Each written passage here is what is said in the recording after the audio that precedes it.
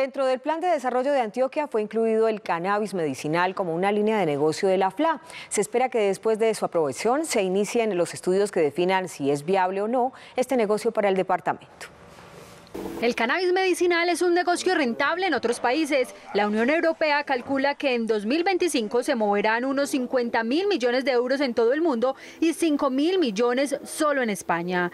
Ante esa realidad, el sector oficial antioqueño está interesado en entrar al negocio. Propusimos realmente que fuera la subregión del el Bajo Cauca porque esta planta ayuda a recuperar los suelos que han tenido la extracción minera, nos ayuda con el cáñamo a generar una industria textilera, nos ayuda los extractos hectáreos para la industria farmacéutica, también para, la, para los concentrados y alimentos de los animales, pero a su vez también nos ayuda para los forrajes y la pulpa de papel. La fábrica de licores de Antioquia hará los estudios de prefactibilidad y factibilidad, o sea que analizará los pro y los contra que tendrá el negocio para el departamento. Si se aprueba en el presupuesto que la fábrica de licores constituya el equipo necesario para hacer todos los estudios económicos, técnicos, que puedan ser luego presentados a la ciudadanía y decir, entonces entramos en este negocio. Este sábado se dará el último debate del plan de desarrollo.